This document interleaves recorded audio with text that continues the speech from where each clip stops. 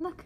Hi everybody, welcome back to my channel. I just wanted to do a fun little video about my hamster. I don't really get to show her that much on my channel because, you know, tarantula kat and all, but I do really love my hamster. She is a dwarf. So I wanted to go ahead and show you guys something really cool that I've noticed. Recently, I started thinking more about protein. I feed her Higgins Sunburst, and that's what everybody pretty much says is like the best. And I hear a lot of people say to add like a protein into the mix for them. I just figured I'd just do live bugs because I keep them on hand pretty much all the time. Super worms are like her favorite snack now. I give I don't give it to her too often. They're not supposed to have it that frequently, just like occasionally. So I've been only giving her like one smallish worm a week.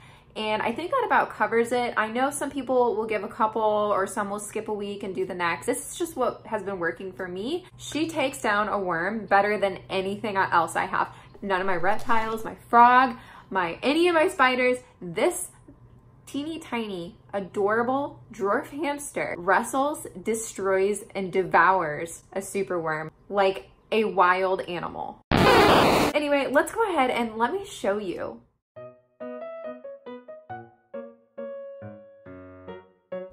Yeah.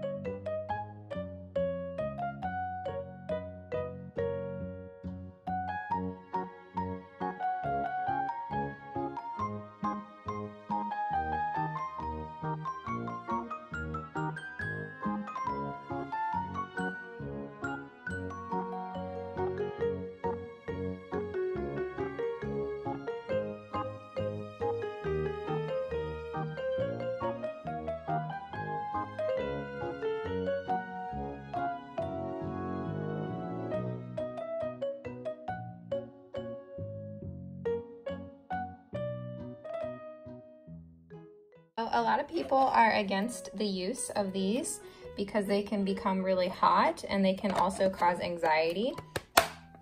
So I don't really let Pawnee use it very often, except when I clean her cage.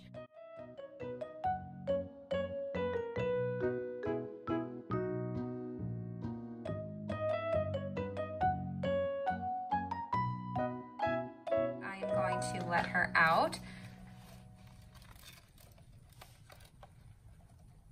All clean. I didn't clean this out because I just cleaned it out like a week ago and that's her stash. So I kind of just want to leave it be for now.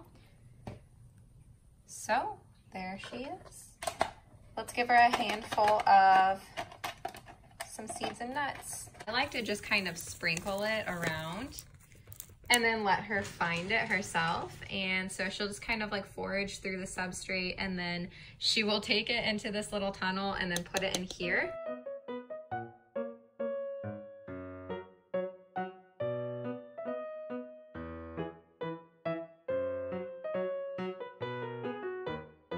There she comes.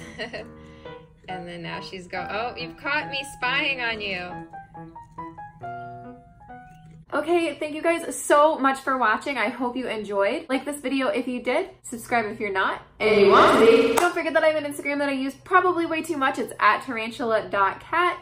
You can go follow me there. I'll have some more tarantula stuff for you guys coming up soon. I am getting some true spiders in my collection later this month and I normally don't say that before I get them just in case something comes up, but I'm committing because this is a species that I've really wanted. So as long as everything goes smoothly, we will be introducing a true spider species that I have wanted for a very long time. As long as everything goes okay, as long as it all goes to plan, we will be bringing in some true spider species at the end of this month. Okay,